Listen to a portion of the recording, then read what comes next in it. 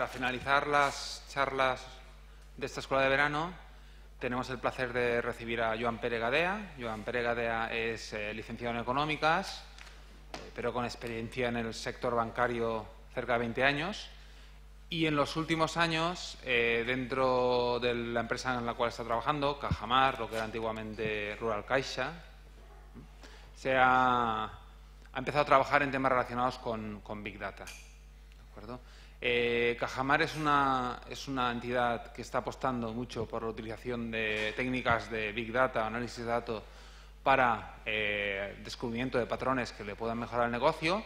Además, tenemos la fortuna de que está colaborando de manera muy activa con las universidades, especialmente con esta, universidad y especialmente con, la escuela.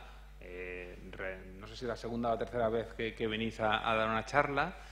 Y, en fin, eh, agradecer a Joan Pere y a Cajamar por la amabilidad de, venir a compartir su conocimiento a, este foro. Gracias. Gracias. Eh, bueno, como ha dicho César, pues uh, estoy adscrito al departamento, eh, trabajo en Cajamar, estoy adscrito al departamento de inteligencia de negocio y dentro de inteligencia de negocio tenemos un, un, una subárea, ¿no? Llamada pues, el Cajamar Data Lab, ¿no? donde trabajamos más intensamente los datos para poder ofrecer o para poder extraer valor. Mm, la charla eh, tendrá dos partes, creo que bastante diferenciadas, después de una breve introducción. Eh, la primera parte es un punto de vista personal sobre lo que es el, Big Data y los cambios que están impulsando en el sector bancario, desde mi opinión, y que también aceleran el proceso de eh, adoptar herramientas de Machine Learning. Y la segunda parte serán ejemplos y muestras de cómo se usa el uh, Machine Learning o herramientas de Data Science en el ámbito del, de, nuestro trabajo. Bien, eh, bueno, Cajamar, brevemente, pues, es el primer grupo financiero cooperativo de carácter cooperativo en España. Mm, tenemos una cierta cantidad de volumen de activos, 40.000 millones de euros, y un volumen de negocio de más de 67.000, 1.200 oficinas repartidas en 42 provincias y somos más de 6.000 uh, profesionales. Pero bueno, estos son datos de introducción de quiénes somos, ¿no? no tenemos... El, uh, dentro de Cajamar sí que tenemos una, comentado un grupo de, de, profesionales dedicados al tema de los datos. ¿no? El tema de los datos específicamente extraer datos, no gestionarlos o guardarlos, procesarlos, etcétera, sino gestionar los datos para obtener conclusiones de valor para la actividad. El, uh, nuestro grupo Está localizado en diversas partes de España, está, gente en Madrid, gente en Valencia, en Granada y también en Almería. El Big Data en banca. En Big Data hay muchas definiciones, todas empiezan por las tres Vs de volumen, variedad, velocidad, de cómo entran los datos. Eh, yo lo voy a enfocar un poco desde el punto de vista de cómo nos afecta a nosotros, ¿no? El Big Data está muy de moda, pero mm, ¿qué pensamos concretamente del Big Data? El, el, Big Data está produciéndose, o lo que hay siempre es una explosión en la cantidad de datos que se generan, el volumen de muy diverso tipo que tenemos que manejar, datos provenientes de redes sociales, internos. Nosotros no los capturamos todos, lógicamente, solo los que son nuestros datos. Y uh, aquí lo que más importa, o el cambio más grande respecto a lo que ocurría anteriormente, es que no solo se producen o se generan datos por las transacciones normales de los clientes, sino por los hábitos o los comportamientos. Ahora el cliente existe en la red, antes no existía, antes solo existía dentro de una aplicación propietaria, por decirlo así. Eso ha generado una gran cantidad de datos en todos los sectores, no solo el nuestro. El segundo punto definitorio de todo lo que sería el Big Data en, para nosotros sería también eh, la necesidad de adaptar nuestros sistemas para guardar y procesar grandes cantidades de datos. esos datos tenemos la necesidad de convertirlos en información y que esa información procesarla, vender, venderla internamente, en cierto modo, y convertirla en valor. Perdón. ¿Qué está pasando? Tenemos datos, pero tenemos varios tipos de datos. Tenemos datos que conocemos, sabemos manejar, tenemos datos que conocemos, no podemos manejarlos por las diversas causas, mm, no hay recursos, no, no nos podemos fiar del dato, no todos los datos tienen la misma validez y, bueno, puede también existir datos que no conocemos. Esto genera una presión competitiva, estamos en un mercado y mm, otros pueden estar haciéndolo mejor o peor, pero tenemos que estar ahí. Investigando y mejorando. Desde nuestro punto de vista, el alcance del, Big Data en banca, en un primer bloque, estaría formado por eh, el cuadrito que, mm, titulado ST, que es de transaccional. ¿no? Sería, digamos, los datos que genera el propio sistema interno bancario, procesos que se generan, transacciones, un cliente utiliza su tarjeta de crédito, queda reflejado, dato. Un cliente hace movimientos en cuenta, queda reflejado, dato, etc. Son todo de carácter interno.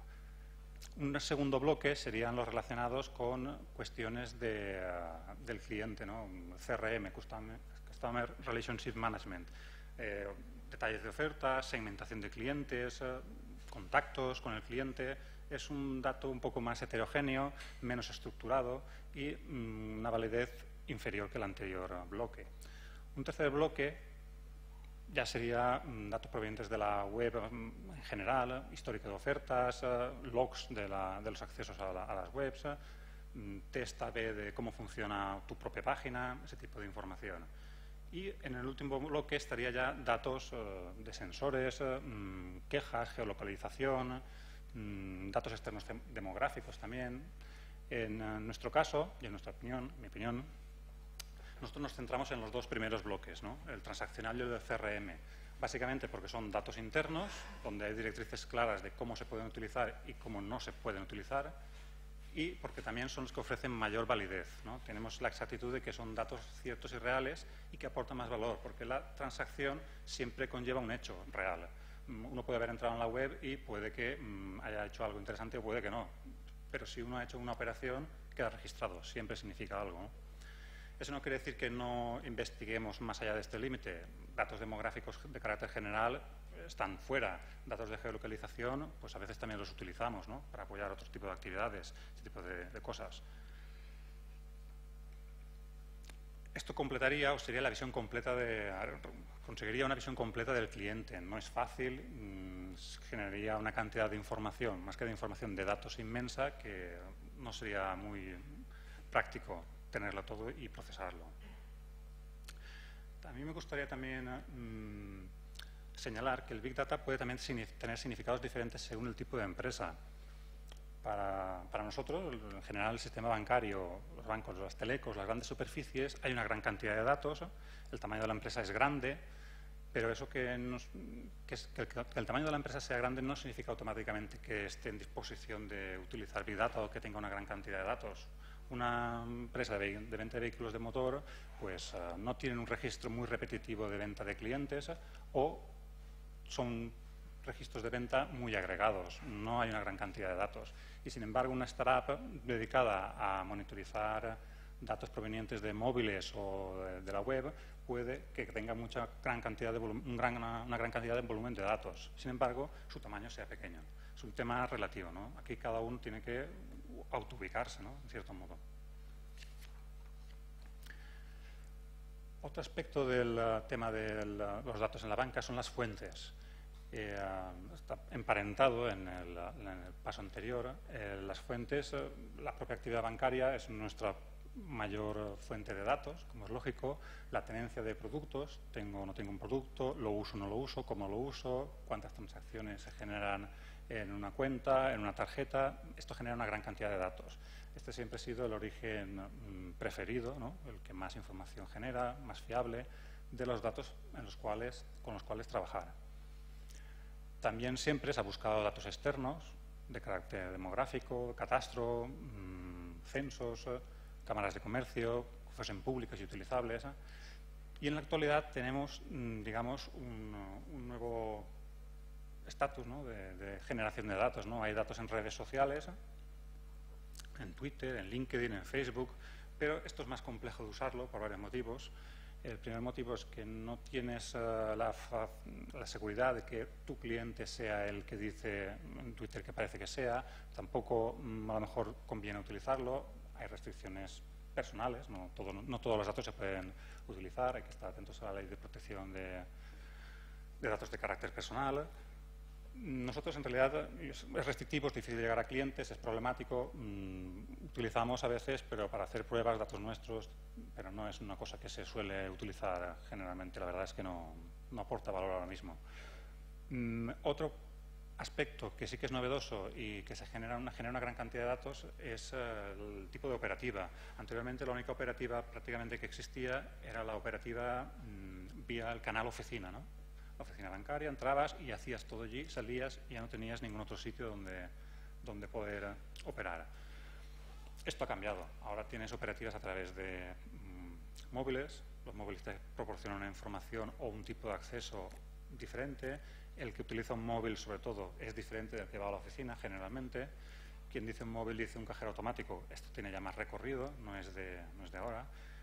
Mm, sistemas de recogida de quejas y reclamaciones en call centers y demás. Esto también ha conllevado tener que desarrollar mm, técnicas de tratamiento de datos. Si tienes un gran volumen, no es cuestión de ponerte a leer todos los eh, textos o los audios grabados. Tienes que utilizar un sistema más o menos automatizado para poder hacer conclusiones general, no para tratar la queja. Tratar la queja tiene otro canal, no es el nuestro.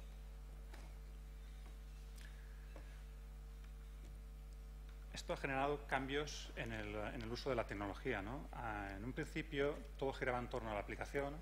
Yo tengo mi aplicación propietaria, la hago funcionar y la, uso. Ahora no es, ah, así. Ahora lo importante son los datos y son las aplicaciones las que giran alrededor de los datos. Eh, en el sistema interno de las entidades siempre hay una aplicación propietaria para gestionar los datos, pero por, ejemplo nosotros en el tema de data science y en la explotación de datos no utilizamos programas propios, utilizamos de hecho programas de código abierto y es un estándar también en, la, en, el sector. Es decir, lo importante es el dato, no con que lo uses. Usa con la mejor herramienta que esté disponible. Y en general las mejores herramientas disponibles ahora mismo son open source. Mm, una segunda fase es eh, un cambio en, la, forma de tomar decisiones. Antes tú tomabas decisiones en función de la capacidad tecnológica que tenías, tenías un tope, una limitación, una restricción tecnológica, puedes hacer esto, tienes esta capacidad de cómputo o esta capacidad de guardar datos, o has guardado solo estos datos y no todos los demás. O no puedes ver históricos muy atrás, porque consume mucho esas restricciones se, están liberando. Ahora tienes muchísima más capacidad para almacenar datos, también tienes muchísima más capacidad para mm, hacer cómputos complejos que requieren eh, superar esos límites anteriores. Entonces, la, toma de decisiones mm, ha cambiado un poco. Ya no se toma la decisión ex ante, sino con posterioridad al análisis. Haces el análisis, haces las recomendaciones o las conclusiones y se, toma análisis, se toman decisiones con, digamos, conclusiones más fundamentadas. El, tercer aspecto que ha hecho cambiar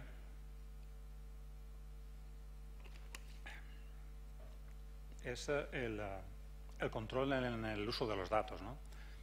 Eh, con anterioridad el uso de los datos, mm, ahora también, pero digamos que antes estaba muy restringido. El acceso a quién puede utilizar los datos de forma masiva o agregada estaba muy controlado. Ahora también está muy controlado, lógicamente, pero mm, hay un cambio y es que y se establecen unas directrices para que haya un aumento en el número de profesionales que tengan capacidad de acceder a los datos de una forma controlada, lógicamente. Esa capacidad de acceder a los datos te permite pues, hacer análisis y eh, obtener conclusiones. Es un riesgo no hacerlo, porque no hacerlo significa que mm, estás en, uh, pierdes capacidad de competencia respecto a tu, a tu, en tu sector. ¿no?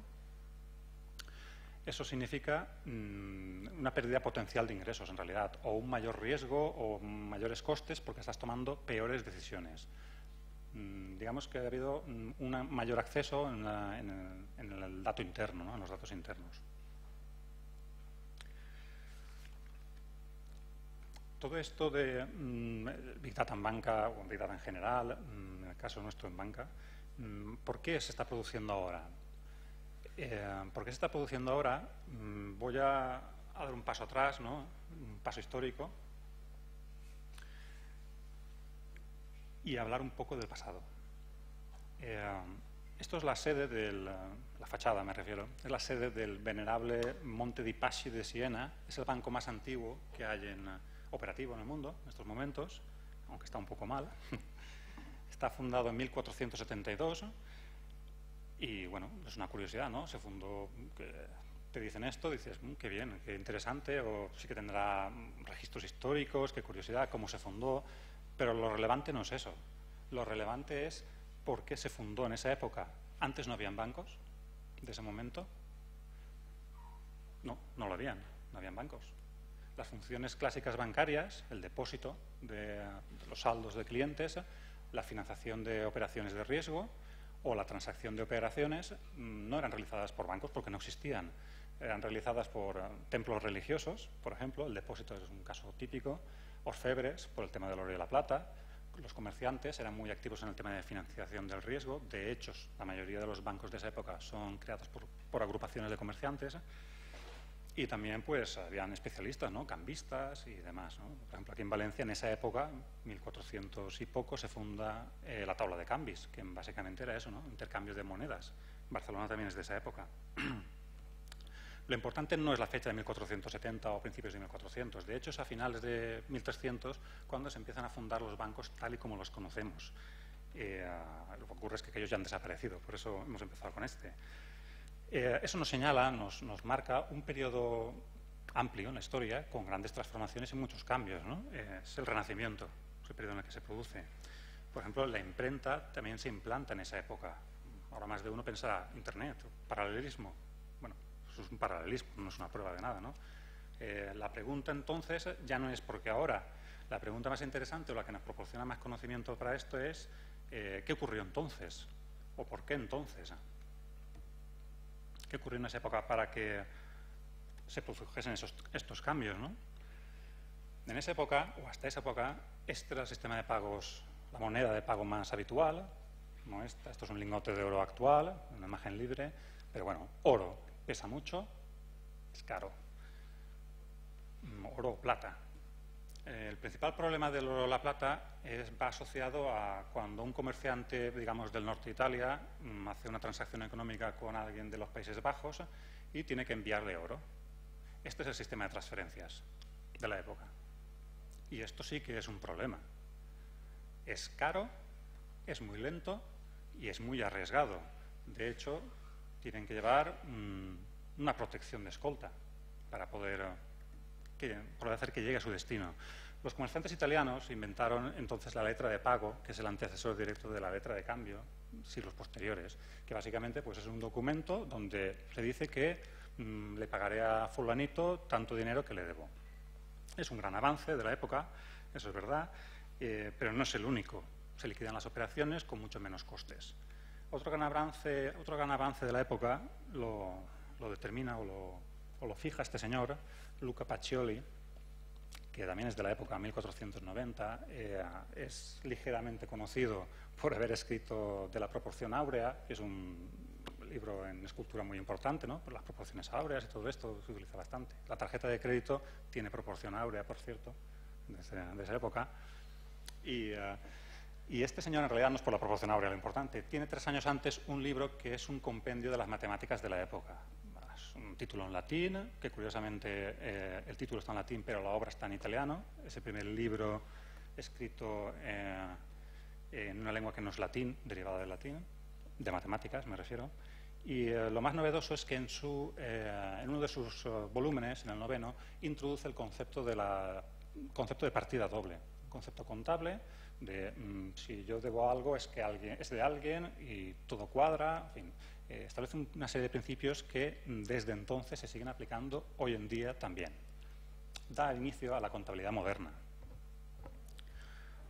¿Por qué digo esto? Mm, es un periodo en el que hay un cambios, reducción de costes, innovaciones de la época, grandes innovaciones, nuevos sistemas de pago, nuevos agentes. todo esto desde una perspectiva formal, como soy yo economista, no puedo resistirme a meter esto, por el lado de la demanda de los consumidores, pues es un nuevo paradigma social. Hay una preferencia, nuevas preferencias, nuevos tipos de consumo, nuevos hábitos. Han cambiado la forma de, demandar servicios financieros de la época.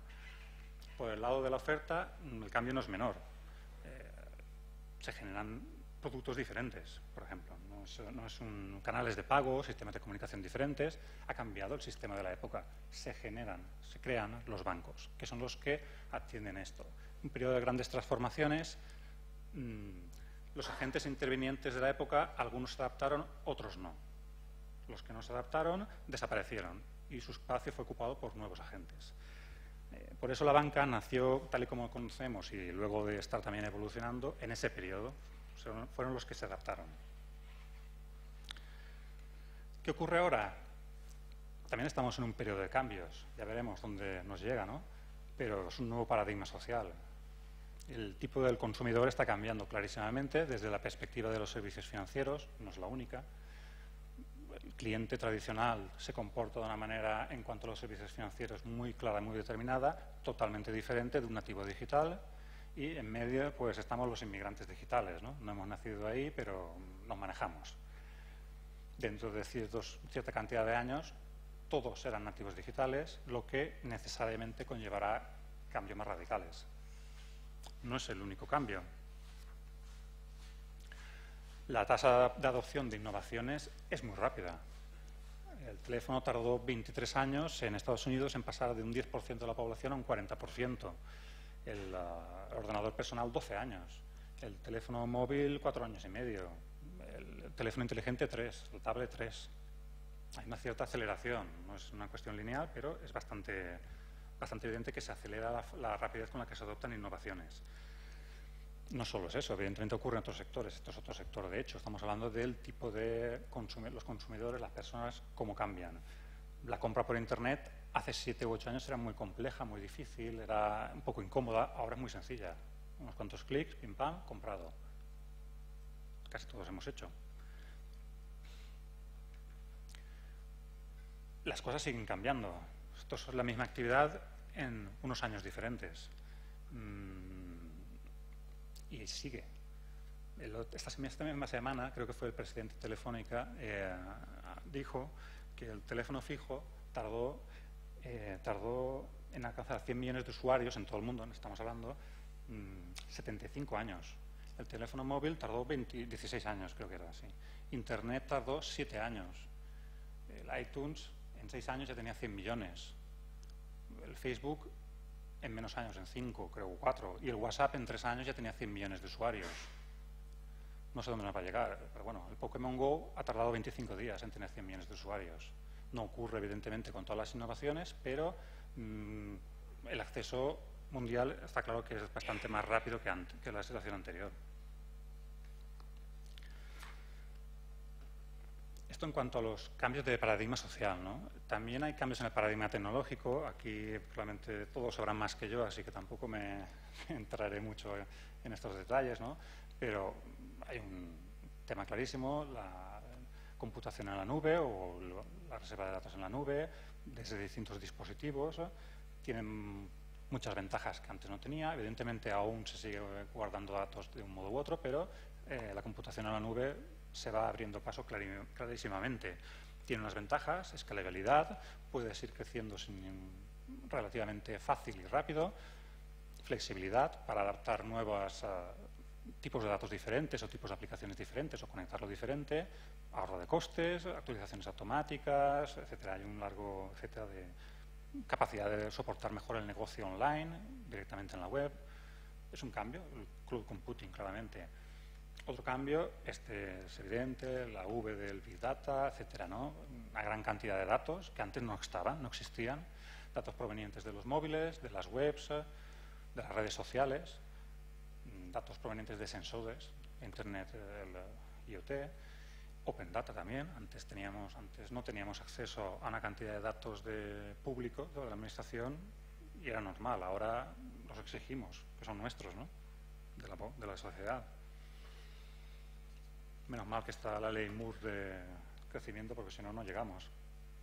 Otro cambio importante son las iniciativas open source. ¿no? Eh, a nuestro juicio, mm, acceso, la facilidad de uso, la capacidad que te proporcionan herramientas del proyecto Apache en general, o R o Python, para afrontar nuevos desafíos o atender nuevos problemas, pues es una ventaja respecto a programas propietarios. Tiene una comunidad activa, un soporte rápido, es mucho más fácil de operar con otro tipo de, programas y de aplicaciones. Evidentemente es un ahorro de costes brutal y bueno, puedes probarlo antes de comprarlo. puedes comprar también algunos desarrollos privados en este caso, ¿no? Hay un aspecto también muy importante en el tema del open source que a veces se deja de lado y es la, reproducibilidad. Esto en, algunos ámbitos fuera de la banca, nosotros también, porque siempre tienes auditoría, a ver cómo has hecho eso, a ver si está bien hecho, a ver qué ocurre aquí. Necesitas demostrar y que sea fácil de ver que tus conclusiones han salido de una forma adecuada. ¿no? Eh, esto, este tipo de herramientas es más sencillo y ocurre en otros mundos. Por ejemplo, en la investigación médica es muy habitual tener que realizar eh, revisiones de, eh, a ver, esas conclusiones que has llegado son limpias, a ver tu código. Pues este tipo de herramientas es mucho más sencillo, es un avance. Todo esto configura un nuevo paradigma nuevo. Es Big Data, bueno, pero desde otro punto de vista, ¿no? No solo el volumen, sino eh, el enfoque para mí es distinto. Mm, no es que antes no hubiese Big Data, en mi entidad, por ejemplo, pues hace 10 años ya teníamos gran cantidad de datos, pero algunos no los usábamos, otros sí, pero para mí la diferencia fundamental es que ahora se ha, se ha generalizado, se ha democratizado el acceso. Antes Big Data lo tenían cuatro y ahora el Big Data te metes en Internet en cualquier sitio y tienes una base de datos bastante amplia para toquetear o para probar o simplemente eres una empresa y lo montas, pues al final acabas recogiendo muchos datos porque hay muchos dispositivos recogiendo datos y esto es una diferencia importante. En el eh, resumen del paradigma tecnológico, aparte, coloco una característica que es eh, eh, el tema que puede, sí, porque estos son hechos, son ciertos en mi opinión y están ya afectando al sector. Hay otro que está ahí y no sabemos si acabará afectando al, sector, ¿no? Y es el tema de la cadena de bloques. En, una opinión personal, eh, sí, al final acaba impactando al sector, cadena de bloques, la innovación tecnológica que trajo el Bitcoin, porque lo importante no es la criptomoneda en concreto, sino la innovación tecnológica que conlleva, eso también puede hacer cambiar muchísimo el sector desde el punto de vista de la oferta, mm, viendo el paradigma tecnológico. Sería un cambio radical, pero eso es especulativo en estos momentos. Hay nuevos cambios, hay más cambios, ¿no? Paradigma, el regulatorio también es un paradigma que está cambiando muchísimo, desde, sobre todo desde la Unión Europea, que es la que genera la mayoría de las directrices, protección al consumidor, pues hay una serie de normativas de protección al consumidor, de análisis de la venta cruzada, cómo la haces, cómo no la haces, para no mm, provocar eh, problemas en las ventas que ha ocurrido en los últimos años, como ha salido en prensa bastante habitual. MIFID II es una reacción a esos problemas, por ejemplo, donde mm, se califica a los clientes en base a unas características y a este le puedes, le puedes ofrecer, a este no le puedes ofrecer un servicio bancario o un producto bancario porque no es apto, aunque él te diga que sí. Y en medio, pues bueno, hay algunos que sí dicen que sí, sí, pero que se aseguren. Normativas de protección al consumidor, hay que cumplirlas, son cambios regulatorios. Hay dos cambios regulatorios, eh, temas de solvencia, se les exige a las entidades bancarias tener más capital, esto también es consecuencia de, la crisis, eso hace mm, que en caso de un problema, pues que el recurso a los fondos públicos sea menor, primero que palme, por decirlo llanamente, el dinero que han aportado los socios a la actividad financiera, a la actividad bancaria y luego las ayudas, si, son necesarias. El tema de shadow banking también hace ya muchos años que está, eh, que está en marcha y es, eh, mm, es más heterogéneo, ¿no? porque aquí hay metidos en este concepto muchos, muchos cambios diferentes, muchas variables diferentes, que es o que no es banco. ¿Dónde está el límite? ¿PayPal es un banco? Hace transferencias. Mm, no es un banco, es evidente, pero hace transferencias. Visa no es un banco y, sin embargo, las tarjetas y la conexión con el sistema bancario es importante. Y hace muchos años un fondo de inversión, que no tampoco es un banco, son externos, muchas veces son de bancos, pero hay independientes, quebró un fondo de inversión y la Reserva Federal Americana tuvo que ir a rescatarlo. La trató como un banco en la práctica. Entonces hay una cierta, un cierto colchón ahí un poco en sombra, pues que no sabemos muy bien si son bancos o no son bancos y también se está delimitando bien, por no hablar de productos ya opacos o complejos, ¿no? Swaps y cosas así raras de banca de inversión, que aquí en España es lo menos, afortunadamente. Eh, los bancos, perdón, los cambios más impactantes son el de la directiva eh, europea de medios de pago, PSD2 esta que hay aquí, este nombre tan, tan rarito, que va a obligar a las entidades financieras a abrir sus bases de datos a instancias de un cliente en favor de un tercero, si el cliente lo considera. Eso da un campo para las startups inmenso. Y a nosotros para ponernos las pilas, porque si tú no haces algo, va a venir alguien de fuera que te lo ha montado tres amiguetes, se llame, no voy a decir nombres de, de, startups, pero ya están ahí y funcionan, agregan datos de otras entidades financieras y le presentan al cliente pues un gráfico bonito de cómo evoluciona su, su consumo en algo o lo que consideren de interés. Eso está ahí. Y eso viene también impulsado por cambios regulatorios. El cambio regulatorio, bueno, sí, será muy bueno para el consumidor, reducirá costes, hará más competencia, creará un mercado único. Es bueno todo eso a priori. Y hay más cambios, pero esto también es especulativo. Revisión del Plan Chicago. Esto es una cuestión muy técnica, pero esto es coger un banco, partirlo por la mitad y ya no se parecerá nunca más a lo que conocemos como banco. Es un tema que está ahí pero es minoritario completamente. Surgió a raíz de la Gran Depresión en el año 29 y ahora el FMI también le ha dado una vuelta y ha visto, eh, bueno, son estudios que hacen, siempre hacen estudios, pero podría, podría ser. Son um, cambios de paradigmas regulatorios que pueden impulsar cambios. ¿no? Al fin y al cabo todo esto tiene consecuencias. Pues lo podemos medir por los nuevos jugadores ¿no? en, el, en el sector bancario. Hay nuevos players en el sector bancario los hay. Hay eh, redes sociales de inversores, no es un banco, ¿vale? Pero están ahí. Hay asesores financieros, bien, siempre lo ha seguido, pero ahora van mm, automatizando la información mucho más rápido. Tradings automáticos para comprar y vender en bolsa, recomendadores, robo-advisors, hay todo un mundillo en, en todo eso. Comparadores, los hay, igual que hay comparadores de seguros, de hoteles y de vuelos de avión, también hay comparadores de, servicios financieros, de servicios bancarios, herramientas de finanzas personales también las hay, en los móviles ya, ya hay muchas, se distribuyen los productos financieros de forma distinta, desde el punto de vista de la infraestructura también hay nuevos oferentes, en este caso no son competidores, de infraestructuras, infraestructuras diferentes, las divisas, hay startups que se han hecho un hueco intermediando divisas, hay una creada en Barcelona que tiene la sede en Londres inmensa, creada hace unos años criptomonedas y Bitcoin también es todo un mundo aparte en este caso. Y la intermediación de pagos, bueno, ahí tenemos a, PayPal, por ejemplo, y, también está haciendo sus, eh, sus entradas Google y demás. En financiación siempre han habido empresas de crédito rápido, pero ahora tenemos crowdlending, crowdfunding, peer-to-peer, factoring, descuento. Hay muchísima más actividad de empresas que tampoco son bancos. Y más. Y aquí no hemos eh, nombrado a, los bancos digitales, que ya son nuevos de creación, pero ya tienen una estructura de costes diferentes, ni a, ni a Google, Amazon, Facebook y Apple, que en el momento que se metan ahí, pues también cambiarán el sector con toda seguridad. ¿no?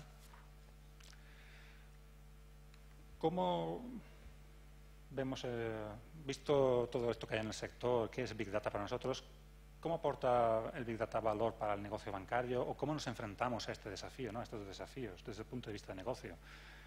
Mm, creamos nuevos productos, nuevos eh, ajustamos precios, hay muchas formas de hacerlo, ¿no? muy centrados en la experiencia del cliente, mejorándola, corrigiendo errores, la gamificación también está por ahí. Mm, se fijan estructuras de costes diferentes, hay que ahorrar y hacer las cosas más baratas para ofrecer un mejor producto al servicio. Yo voy a hablarlo desde el punto de vista de negocio, que es generar ingresos, pero también hay otros ámbitos dentro de una entidad financiera donde el uso del Big Data y de técnicas de Machine Learning es eh, habitual, el día a día. El principal es riesgos, es eh, muy típico utilizar análisis para hacer alertas de, tempranas de problemas, para prevenir fraudes, para evitar morosidad, eso se hace ya muchos años también, seguridad digital también se hace, para generar ingresos, que en nuestro caso, pues personalizar ofertas para clientes, es muy, eh, muy normal. Análisis predictivo, luego veremos unos cuantos ejemplos, también eh, se está utilizando de forma bastante amplia. Motores de recomendación, no somos Netflix, pero se hace y es lo mismo prácticamente, la idea es la misma. Datos a servicio, etcétera. Y para mejorar la eficiencia, aquí ya desde el punto de vista ¿no? tecnológico y de, Big Data, ¿no? repositorios globales, eh, geolocalización, utilizar la nube, agregar datos, más procesamiento, etcétera. Al final, eh, aquí lo que subyace es la idea de eh, el dato tiene un valor, ya no es algo intangible, es algo intangible, sí, pero ya no es algo que estaba ahí, que no hacíamos caso, que estaba en la infraestructura, mm, residían datos, los datos en máquinas y en aplicaciones, pero bueno, están ahí porque los tienes que usar para saber fulanito dónde vive y enviarle una carta. Eso era el inicio, ¿no? Una segunda capa es cuando ya hay una cierta gestión del dato, SQL es una herramienta habitual de esta fase, ¿no? Eh, ya te preocupas por tener los datos estén integrados, hay una cierta calidad, haya una cierta integridad en los datos, hay un gobierno del dato, hay normas que cumplir. Una tercera capa, que es la de Data Science, eh, bueno, las reglas de negocio no serían Data Science estrictamente hablando, son más sencillas, y después la analítica predictiva, ¿no? Aquí ya analizas históricos de datos para ver cómo puedes obtener conclusiones nuevas con mm, datos recientes y poder pues, tomar decisiones más fundamentadas y más acertadas también. ¿no? Y la última capa, la cúspide, que sería la, monetización del dato. La venta directa del dato a terceros, si está aceptado o permitido, desarrollar aplicaciones relacionadas con, con negocio, indirecta e indirectamente, colaborar con desarrolladores, externos. Aquí hay un campo también. Mm, todo el mundo está en las dos primeras capas. En la tercera capa mm, no es tan homogéneo, supongo que estarán todos. Nosotros llevamos 11 años en analítica predictiva, ya llevamos mucho tiempo. Mm, no todos están en analítica predictiva, me imagino que ahora ya estarán todos.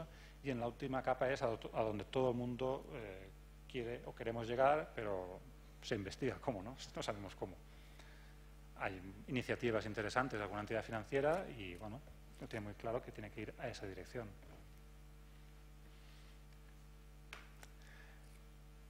Y aquí hablamos del uh, tema de la analítica predictiva, ¿no?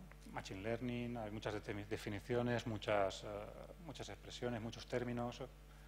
Al final, mm, lo que utilizamos uh, para hacer bien la analítica predictiva y utilizar datos y generar conclusiones pues son técnicas de Machine Learning, básicamente crear, adaptar, gestionar algoritmos para que aprendan de, nuestros datos que tenemos y puedan hacer predicciones sobre los mismos o predicciones, en el caso de supervisado, hacer predicciones o obtener patrones que, no estén, que, estén, que estén ocultos. Es una mezcla, una interacción entre la informática, la matemática o la estadística y es un proceso inductivo a través de ejemplos. Tengo un histórico, puedo ver, puedo concluir, básicamente. Aquí mm, hay que tener cuidado con el tema de correlación no implica causación, muy importante. También se puede soslayar, soslayar no, pero también se puede considerar y no incurrir en errores. Machine Learning hay de, bueno, hay unas clasificaciones, hay de mil formas. La más, una de las más vistas es si eh, hay aprendizaje automático o no hay aprendizaje, perdón, supervisado o aprendizaje no supervisado. En el supervisado tienes un objetivo claro. Aquí una persona ha comprado una hipoteca, queremos ver qué es con características tiene su histórico de datos que hacen que sea más probable que esa persona compre una hipoteca que no otra. Pues bueno, aprendizaje supervisado. Hay unas técnicas concretas, se llegan a conclusiones. No supervisado, pues cuando tienes datos y quieres encontrar un patrón que desconoces, que está oculto, pero piensas que en unos datos que has seleccionado está ahí. Son los dos más utilizados. El reinforcement learning apenas se, se utiliza, ¿no? o por lo menos nosotros. Ejemplos de machine learning o de técnicas de algoritmos He escogido unos cuantos, no son ni mucho menos todos y pienso que sí que son de los más utilizados, pero bueno, también faltan algunos. No vamos a entrar en el detalle. No quería meter ninguna fórmula y se me ha colado en una imagen, pero bueno, el Random Forest es probablemente uno de los algoritmos, ya tiene un tiempo de, uso, se sabe cómo funciona, muy potente, muy robusto frente a, una gran cantidad de problemas y permite tanto la clasificación como la regresión, aprendizaje de patrones, un ejemplo típico puede ser ver qué clientes han abandonado la entidad y aplicar con los datos de esos clientes que tenemos en el histórico un algoritmo de random forest bastante estándar y concluir qué es lo que ha hecho qué características hace que ese cliente abandone la entidad o por qué. El resultado, eso lo tienes que llevar luego ya fuera de lo que sería el ámbito nuestro de inteligencia de negocio, tienes que venderte y de ahí también está el tema de la visualización, que va muy emparentado con los temas de data science, y tienes que convencer a marketing o a los responsables que sean de mm, ha ocurrido esto, es por esto y además hacer otro análisis paralelo. La mejor forma de evitarlo o solucionarlo sería esto, si es que es solucionable. Ofrecerle un buen producto, un producto más barato, si es un problema de quejas es otro, otro tema. ¿no? Aquí el problema no está en el algoritmo, que, que más o quien menos te lo va a ordenar, te va a sacar, o si es muy bueno te genera muchas incidencias. Aquí el problema siempre está antes. He puesto este ejemplo porque es un ejemplo típico en el que un nuevo entrante al, a todo este tema tiene un problema del abandono. En el abandono, cuando un cliente abandona la entidad, pues lo primero que uno piensa es eh, pues cuando cancela sus cuentas. Vale, pues muy sencillo. Vemos esa fecha y a partir de atrás vemos los datos. Pero no es tan sencillo. Hay cliente que a lo mejor lleva un año mmm, desviando operaciones por otro lado, mmm, ya no utiliza, ya no tiene transacciones, tiene la cuenta abierta, pero sin saldos o con apenas movimientos cuando antes tenía mucho. No la ha cancelado. No me sirve el criterio de cancelación. Eso es un problema en el que incurren los, uh, los nuevos cuando entran. pero bueno, es fácilmente solucionable. Hay que definir un abandono real en vez del abandono teórico. Lo que vengo a decir aquí es que el principal problema en todos estos enfoques siempre es conocer los datos y conocer la realidad del negocio, sea banca, sea teleco o sea datos de la administración pública. ¿Qué están recogiendo los datos exactamente y qué, cómo interpretarlos? Esto requiere un tiempo ya de, bueno, pues de experiencia, de preguntarle y demás, pero todo se cura. Hay... Otro ejemplo fácil, fácil de, utilizar de Machine Learning son las reglas de asociación. La definición que he puesto hoy es uh, agrupar agrupar clientes o agrupar eventos que, ocurren en común con un, en un conjunto de datos. Esto es muy típico en el, en el, tema de las grandes superficies, viene más de ahí. Compro tomates, compro atún, es probable que compre cebolla, por ejemplo. En banca también ocurre, no hay tanta diversidad, se hace también, o sea, más que nada también para segmentar los clientes. Este es cliente que compra estas cosas, por lo tanto, mm, es, este tipo de cliente le puede interesar, en para caracterizarlo, ¿no? segmentarlo, ofrecerle cosas que sí que le sean interesantes.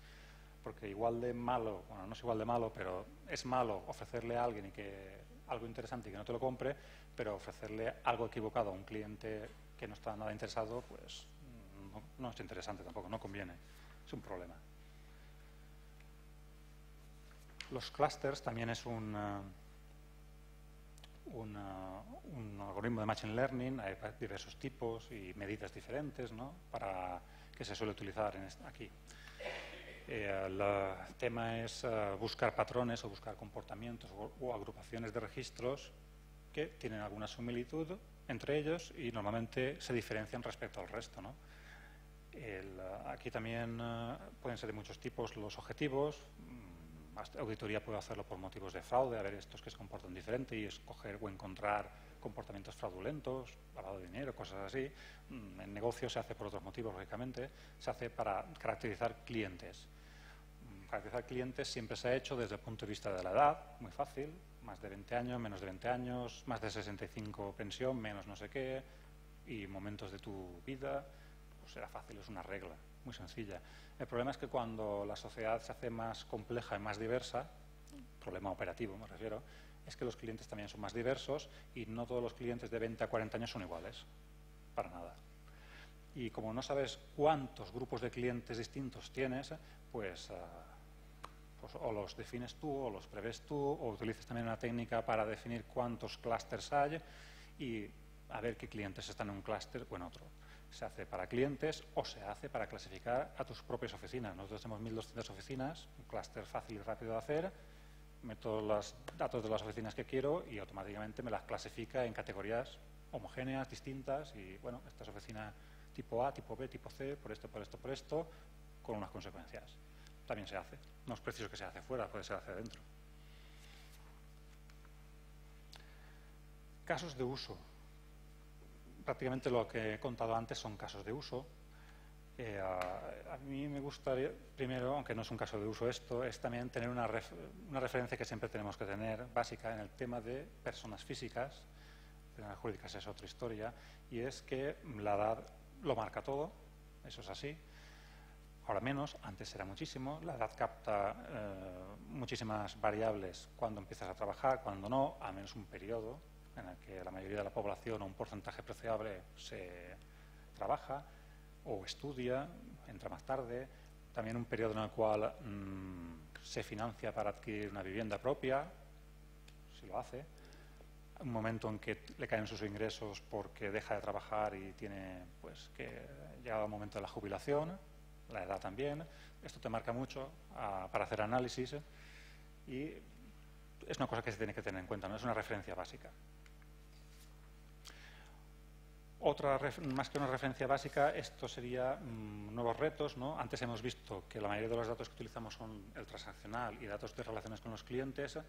Eh, el reto es utilizar también más datos que están fuera de ese ámbito que sean relevantes, que sean lo más ciertos, verídicos posibles que tengan las eh, garantías de calidad necesarias y que nos lleven a conclusiones obvias. Eso es un reto porque cuanto más lejos están, el dato está más desestructurado, es más costoso de manejar y encima pues es menos fiable. Entonces, es un reto que de momento incorporas datos cuando lo tienes muy claro o para problemas muy concretos porque sabes que ese dato es importante. Una vez llegado a este punto, este es el típico caso de una fuga de clientes, lo he comentado antes, eh, de identificar qué tipo de abandono es, el, reto es ver qué clientes van a abandonar antes de que lo hagan, la solución, buscar el tipo de abandono y la senda de comportamiento, hacer una modelización predictiva, resultados, esto es una salida de un gráfico de correlaciones de variables de R, de hecho, y agrupado por clusters, y bueno, ves que ocurren algunas cosas al mismo tiempo y bueno, pues se supone que para evitarlo eso pues tendrías que actuar sobre esas variables o por lo menos esas variables te van a definir qué está ocurriendo y podrás tomar algunas decisiones para evitar la fuga de clientes. Eh, la fuga de clientes lo tienen mucho más desarrollado en general, hablo de sectores, eh, las telecos, las compañías de teléfono, móvil, eh, te llaman, cuando te vence el periodo de permanencia, pues, lo tienen muy estudiado con este tipo de técnicas. Otro tipo de uso, un caso de uso muy habitual, muy habitual, este es el, más probablemente, es determinar la afinidad de, unos, de los clientes para productos en concreto. ¿no? En la matriz, clientes y qué productos puede comprar un cliente. Un cliente va a comprar sí o no este producto o con qué probabilidad de 0 a 1. Eh, pues esto necesitas muchas variables, tratarlas, reducirlas, escogerlas, para cada uno de los productos hacer un análisis distinto, generar scorings de probabilidad, esta salida es un árbol, pero bueno, no es un random forest.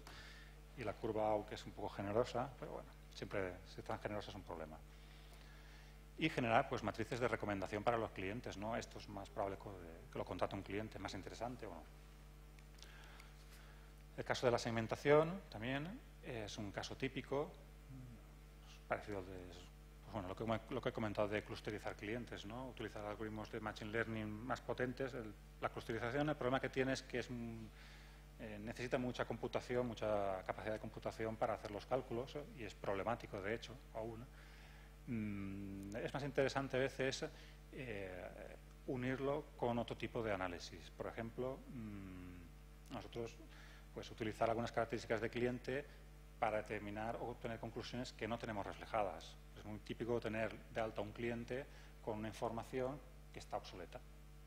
El cliente puede haber tenido familia, puede haberse emparejado mm, y toda esa información ya no la tienes. No es lo mismo, por lo que hemos dicho antes de la variedad, ofrecerle un cliente, perdón, ofrecerle un producto o un servicio a un cliente de una edad que está solo o de una edad que está en familia, que tiene familia.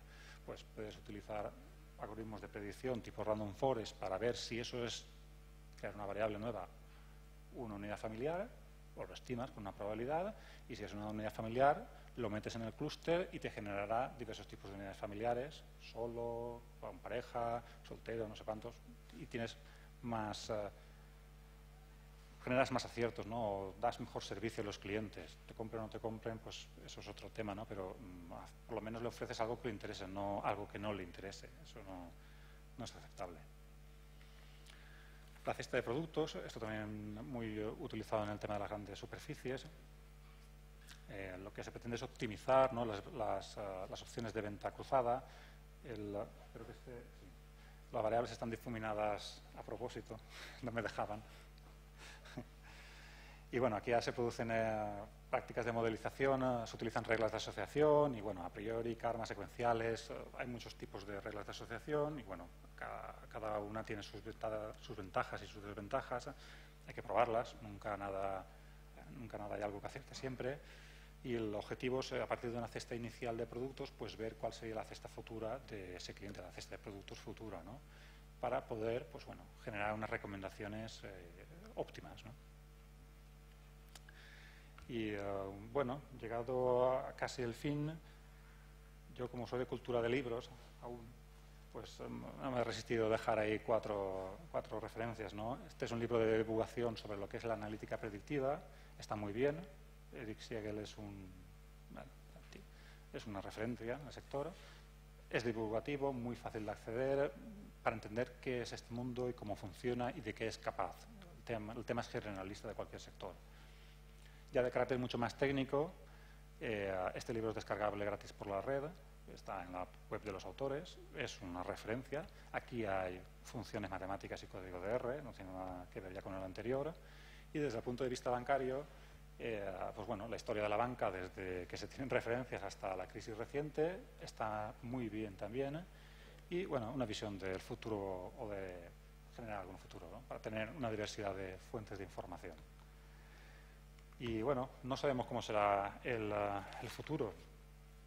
Sí que sabemos que será distinto del presente y bueno, hay que tener la mente abierta para afrontar pues, cambios y poder gestionar y adaptarse a los cambios, porque si no te adaptas a los cambios, pues los cambios te hacen adaptarte a una nueva situación en la que te barren. Y bueno, muchas gracias, eso es todo.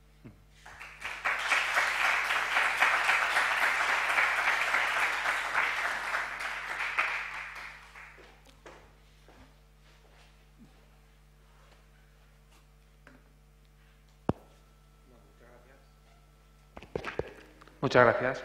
¿Alguna pregunta? ¿Duda? ¿Comentario? Estáis agotados ya. Es lo último, ¿no? Sí. Bueno, yo una breve.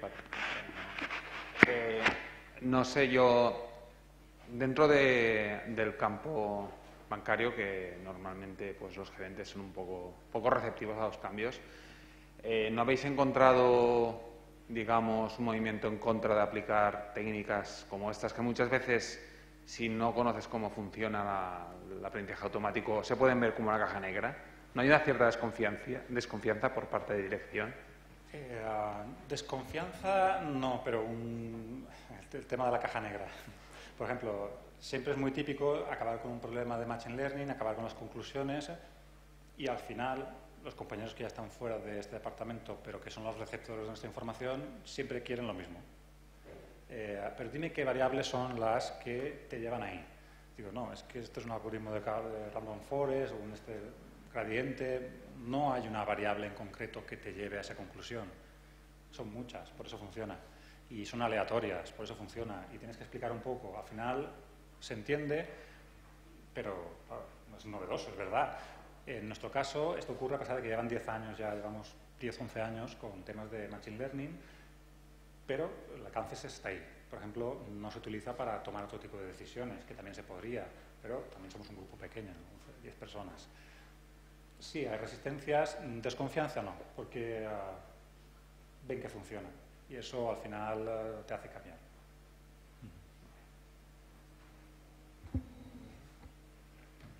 Eh, antes de dejar el paso a Antonia, deciros, si os ha interesado el tema, eh, en la escuela eh, estamos haciendo un máster en Big Data, donde colabora Cojamar, y mañana es la sesión inaugural, que es abierta a todo el mundo. Es de 4 a 8 y media y estáis inventados, invitados. Hay tres o cuatro charlas y es aquí mismo mañana. Bueno, ya para concluir, desde la Cátedra de Transparencia y Participación queremos agradecer a todos los que estáis aquí en las jornadas que acaban ahora. Mañana continúan por la mañana en el taller, aquellos que os habéis matriculado. A los que estáis aquí y a los que lo están viendo por streaming, el que hayáis participado. Muchas gracias a todos. Yo quería hacer un pequeño resumen porque estamos ya cansados todos, donde creo que al final, durante estos dos días, de lo que se ha hablado, sobre todo, es de datos abiertos, de colaboración, de participación y de perfiles multidisciplinares que se necesitan en prácticamente en todo lo que es este nuevo mundo de los datos abiertos y el Big Data. Después también quería agradecer a todos los que han participado en la organización de estas jornadas y de estos talleres, desde los ponentes que han venido de manera, algunos de, eh, de manera altruista y a todos los que han colaborado, los profesores de aquí, tanto del máster MUJI como a los de los otros másters del Big Data y el máster de informática. A todos muchas gracias por haber colaborado en la organización. Y después quería anunciar también una cosa que se acaba de publicar hoy, que, y es que tenemos dos becas para la matrícula del MUJI, eh, para todos aquellos que reúnan las condiciones para, eh, para optar a ellas. Entonces eh, podéis verlos en la página de la Cátedra de Transparencia. Eh, que además mañana acaba el plazo para la preinscripción en los másters, entonces podéis mirarlo y también en breve se van a publicar los premios para eh, los mejores trabajos fin de máster del MUJI. Esperamos que se publiquen la semana que viene. Muchas gracias a todos.